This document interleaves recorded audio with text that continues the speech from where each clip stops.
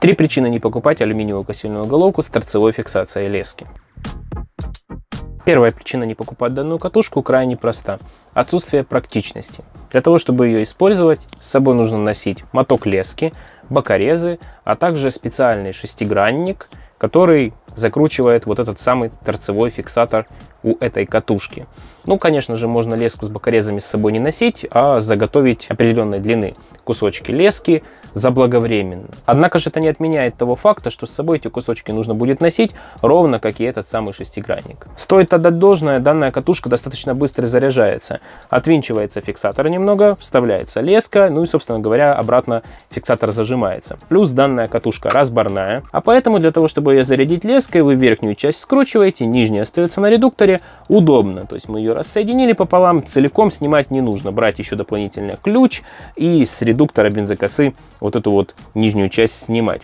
Это немножечко ускоряет процесс заправки, но тем не менее все равно факт остается фактом. С собой нужно носить дополнительные приблуды всякие, и это как бы не в кайф. Тем более, что еще и для того, чтобы ее заправить леской, придется глушить бензокосу и снимать ее с себя, и вот этот весь процесс выше мною озвученный делать. Если мы возьмем, например, полуавтоматическую катушку, как только у вас леска оборвалась на ней, вы во время работы просто подгазовываете, ударяете кнопкой о землю, новая порция лески выскочила и вы косите дальше. Здесь, если леска оборвалась, глушите бензокосу, снимаете ее с себя, затем откручиваете нижнюю часть катушки, откручиваете при помощи шестигранника вот этот вот винт, вынимаете обробанные куски лески, вставляете новые куски лески ранее отрезанные бокорезами, затягиваете, скручиваете катушку, накидываете на себя бензокосу, ну, предварительно заведя ее, и продолжаете дальше работать. То есть, как вы можете видеть, сравнивая два этих разных способа, небо и земля. Вторая причина не покупать данную катушку заключается в ограничении по используемой леске. Грубо говоря, леска диаметром меньше 3 мм не совсем подходит под данную катушку. Ну, грубо говоря, где-то еще 2,8-2,6 можно использовать. Дальше вот все, что по снисходящей, это уже леска, которая с большой долей вероятности будет с этой катушки вылетать.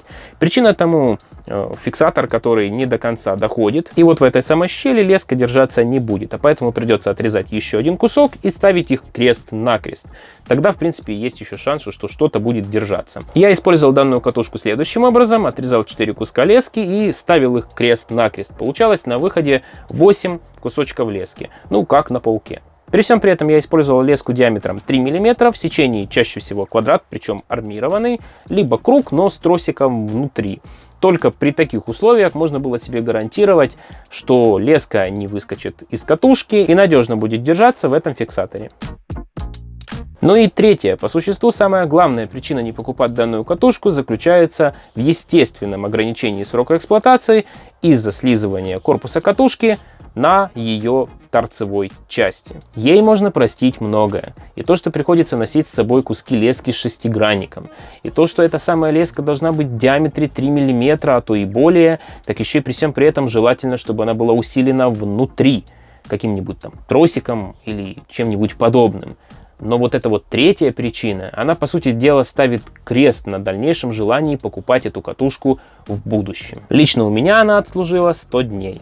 А причина данной проблемы крайне проста. Это расположение и направление резьбы фиксирующего болта. Находясь на торце катушки, данный болт всегда подвергается трению и, следовательно, изнашивается. И хоть разработчики позаботились о том, чтобы данный болт был потайным, ну и, следовательно, в корпусе сделали специальную фаску, он в конечном счете все равно становится явным, потому что корпус стирается, и данный болт начинает торчать из-за корпуса, даже когда мы затягиваем его по самое не хочу. А из-за направления резьбы, у нас здесь она стандартная, правая, во время работы данный фиксатор откручивается.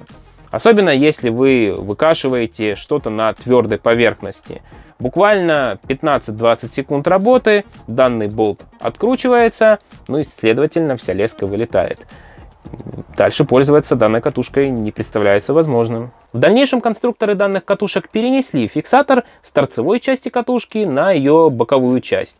И это, естественно, разумное решение в сложившейся ситуации. Пока что катушкой такого типа я еще не косил, но когда данный пробел заполню, свой отзыв о ней, естественно, запишу и с вами поделюсь. А что касается алюминиевой катушки с торцевым фиксатором лески, то здесь все ясно и понятно. Неудачное изделие.